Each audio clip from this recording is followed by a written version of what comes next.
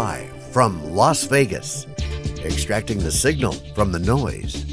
It's theCUBE, covering IBM Insight 2015. Brought to you by IBM.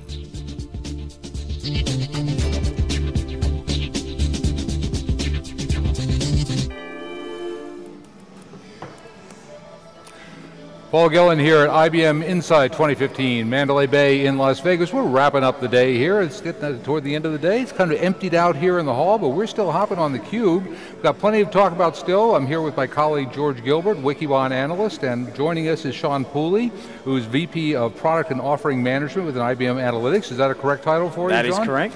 And Sean uh, spoke today at, at the uh, afternoon keynote about complexity and the cloud and simplifying things and, and the cloud is a nexus point. Why don't you just give us, a, give us the 30 second overview of what you talked about? Yeah, sure. Thanks for inviting me, Paul and George. And uh, I guess you're saving the best till last, I guess. Absolutely. Yes. So, um, look, there was a time when it was really nice and simple, wasn't it? I mean, you had this good old structured data and it lived in one place. And now it's radically transformed. It's hybrid in just about every way. It's, it's on-premise and it's off-premise. It's structured and it's unstructured. It's um, easily accessible from wherever you happen to be and to be able to interrogate it in any particular way you want from wherever you want. And so we've gone from this very simple environment to one that has become necessarily more diverse, but at the same time more complex. Gartner made some waves earlier this year with a report that said that Hadoop was basically floundering. That while uh, that while awareness was high, actual usage was low because of complexity, and and just the the uh, and the the, the skill sets that were required, the learning curve. Are you seeing that in your customer base that this complexity is is a barrier to adoption? Uh, without a shadow of a doubt, um, there is absolutely tons of complexity. If you think of what Hadoop is, it's really just a series of different packages, 15, 20 different packages, sometimes integrated, I sometimes think we're not. into the couple, three dozen or something now. You, you know, you lose count, right? You kind of, you, you, they've all got funky names as well. Uh, and, and so, you know, that's a degree of complexity in and of itself. And just even having the open source itself integrate is a challenge. That's in fact why we initiated the Open Data Platform Initiative. You've now got something like 30 or 40 companies, and the whole idea was to create a standardized set of Hadoop packages so that our clients could build analytical applications on Hadoop, knowing that they could move it from one distribution to another. Because open source doesn't mean standards. Open source can be just as locked in and proprietary as any other kind of capability. So that's one form of complexity that's holding our customers back, and there are many others that we could talk about. You mentioned something interesting um, with the word uh, platform and ISVs. Um, how is the definition of a platform, an analytic platform, changing, or, or do we have one even that ISVs can target? What might that look like? That is a great, great question. So again, when it was simple, you'd maybe just have a relational data warehouse and you'd maybe have a business intelligence tool over the top of that, and that was your analytics platform. Now you've got a variety of different data sources, um, some structured, some unstructured. You want to bring in that exogenous data that you've been hearing about from the weather and from tweets and what have you, you know, into that environment on which you'd want to build some kind of intelligence. And then the analytic layer itself is changing at the same time. So not only do you have you know, transformation happening in the data layer, there's transformation happening in the analytics layer. If there's one layer that we would want everyone to be building to, it's Spark. We're investing very heavily in Spark. We see it as the, if you like, the analytic operating system. And the reason we see that is it has the means to be able to abstract away from the underlying data infrastructure. So as the data infrastructure proliferates, having one platform on which you can build your analytics is a great thing to do. Um, but, uh, go ahead, Joe. I was just going to say, uh, I, when you guys did the Spark announcement, we were actually there at, at Galvanize cool. that, that day, and we were broadcasting, and we were, you know, very excited. In fact, we thought it was as big an announcement as the commitment to Linux 16 years before. Um, but then people are already saying, well, you know, there's new things coming along where like real, real time for Internet of Things where we don't have to, you know, do these micro batches or whatever, whether it's Flink or whoever, how long can Spark take us into the future? Um, I think quite a long time. So, what, how do I think of Spark? I mean, yes, there are lower latency means of streaming analytics that are lower latency than, say, Spark streaming, but they come with a higher degree of uh, skill requirement. Um, the value of Spark to me is not its complexity or its simplicity. The value is its abstraction layer across multiple data sources. Think of it another way. You know, when the telephone was first invented, how would it be if every time you wanted to phone someone, you all had to be on exactly the same infrastructure? So it would just be point to point. And you can imagine what that mess would be between you and I, Paul, and you and I, George, and you and, and Paul. That's a mess. So the beauty of the Spark layer for us is it allows you to build one common analytics uh, layer or set of analytics that can interrogate the data wherever it has to be, rather than the old world of building your analytics specifically for a relational model, you know, for IBM, for Oracle, for someone else, and then building it for somebody else in the NoSQL world. That's highly ineffective as far as we're concerned. So this common layer and the ability to interact with all of the different uh, data stores in an abstracted way, big, big deal. It's sort of like the Group 3 fax standard, what that did for the fragmented fax industry many years ago. Uh, who, who are you talking to these days? Who is the customer you're trying to reach? Who's the key contact you, who's making decisions right now in the enterprise related to the big data and analytics products that, that you that, sell? That's yet another fantastic question. I'm going to run out, I think I get three that's a fantastic questions, then I'll have to do something different. No, you can have as many as you want. um, look, the chief analytic officer or chief data officer is redefining the landscape of what's happening in most companies. Um, that's one kind of buyer. Clearly, there's a set of new developers building a new set of analytic applications. That's another. And then the data scientists, him or herself. Three very related constituencies. If I look to the chief data officer, there is no chief data officer or chief analytics officer that isn't looking to the future, not next year, but five and 10 years. If you look at what's causing that transformation at the data layer, it's really the access to connectivity. So when we had dumb screens, you had a certain level of scale. When you went to client server, you got the next level of scale, or putting pressure on the data infrastructure.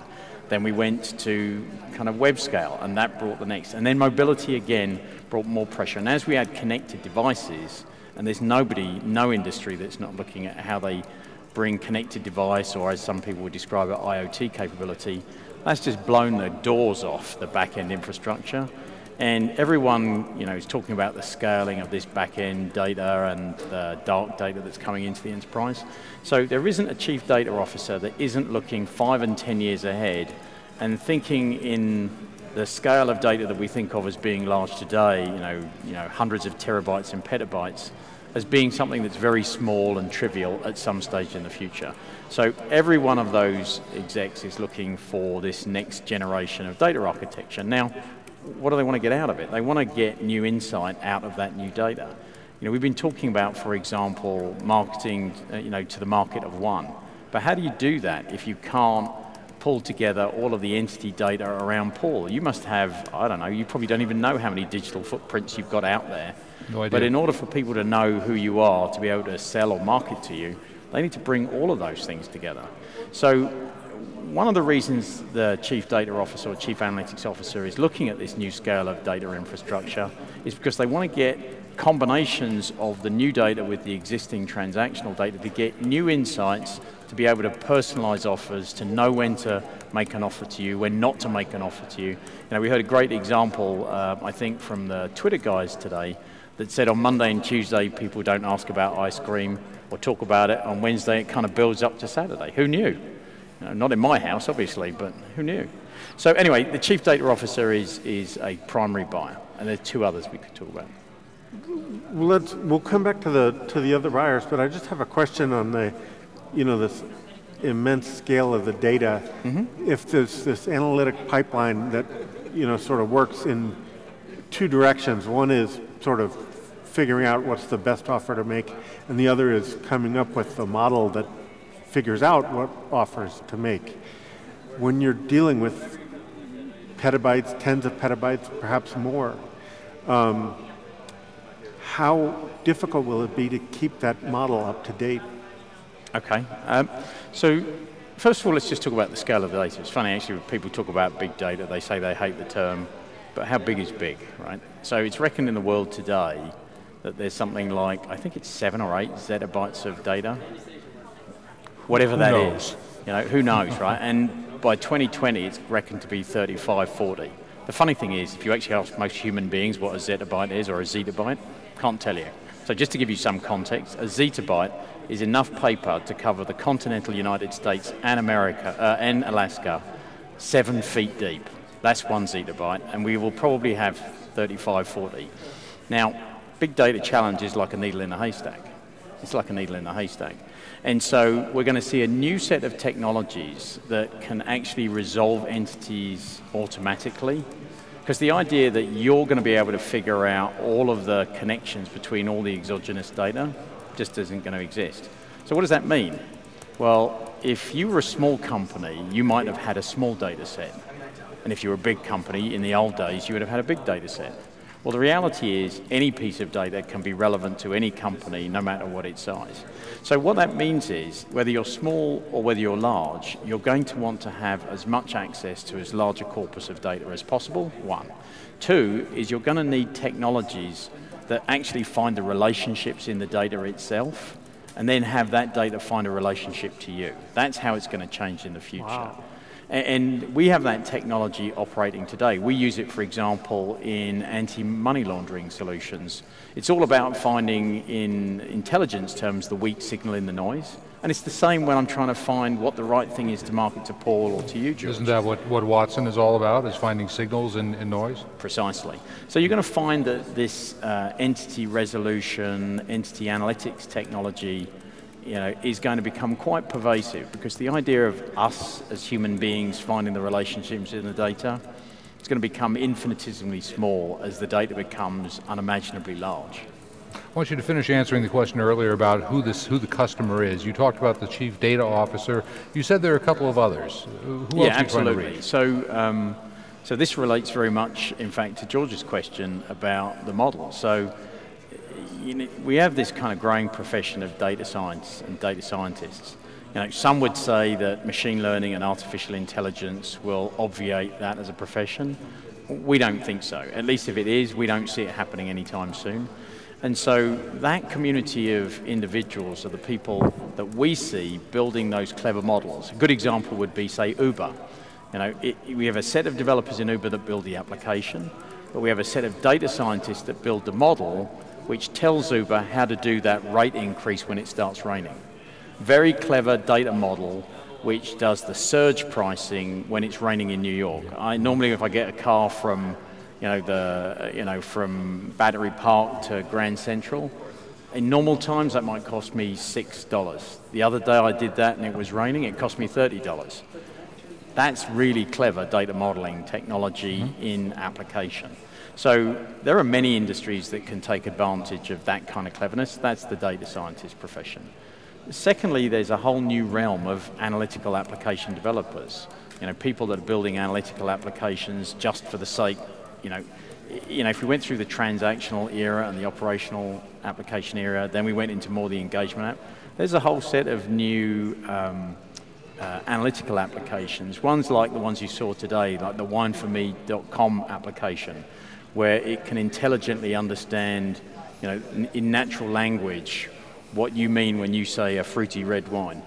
Um, and Yeah, that was that's a whole new class. Yeah, and just, just to, uh, to touch on that, this is, a, this is an app that uh, records your wine preferences and then presents you with personalized uh, re- recommendations based upon the terms that you use and can actually be integrated with in-store inventory systems, It- as demonstrated this morning. Exactly, and, and that's just a good, e- that's sort of like a consumer example of the insight economy. Another class of application would be the kinds of predictive applications that we have built with people like uh, uh, Pratt & Whitney. Uh, we analyze all of the data streaming off of all Pratt & Whitney engines as they fly in flight. We do predictive analytics on that data as they're on the wing so that we can predict what maintenance is going to be required so that when they land, all the right parts are in place for when they land at the airport they're going to land at. That's not an opera- it's an operational analytics uh, application in a sense, but it is purely based on analytics and predictive technologies. So another example. So two great stories you told there, but how, how capable do you find your customers are to build those kinds of applications? You talk about, I'm not talking about Pratt & Whitney specifically, but you talk about predictive maintenance, huge cost saving opportunity. How well prepared are the enterprises you work with to, to take advantage of these opportunities? Um, not as well as they could be. Um, my observation in terms of what I'll describe as round one of the big data analytics transformation has been very technology and tool centric. Um, round two is going to be more about the application of the technology. So we know, for example, that uh, in order to build any of these applications requires you know, data engineers to wrangle data, and more than 80% of any of the project can just be about trying to find the data, you know, integrate all the different tools, et cetera, et cetera. Well, in that old adage, that old adage, you know, time is money. Saving, you know, $100,000 on a tool, you know, when you're spending tons of money in building and integrating doesn't make sense. I'll give you a good example. One of my clients, I can't tell you who, um, is about to hire 500 data scientists. 500. Data scientists probably cost something like $200,000 a year, something of that nature. And uh, you know, some technology people would be debating do they buy a tool for $2 million or $4 million? What difference does that make when, when you've got 500 million data on, scientists? In fact, you know what? If, if one tool is twice, three, four times as productive as the other, you're looking at the wrong metrics. So in the world of the insight economy, hyperspeed is what matters. And so to your point, Paul, having integrated technologies that allow you to seamlessly integrate open source with the existing systems which is necessary, whether it's on cloud or on premise, and for you to be able to ask questions of the data and you as the end user or the business analyst not even knowing where that data is, that's where the market is going to go in round two, and that's where IBM has a distinct and clear competency over all players. We're out of time. Sean Poulley, I'd like to thank you for being here. VP of Product and Offerings Management at IBM Analytics. Seems we haven't run out of haven't run out of topics to talk about in a full day of talking analytics here. Uh, some other great examples you, you've shared and um, and perspective on on how on, on who's buying analytics. So thanks for joining us. My pleasure. Thank you very much for having me. Uh, we'll be right back with our wrap up of day one here at IBM Insight 2015.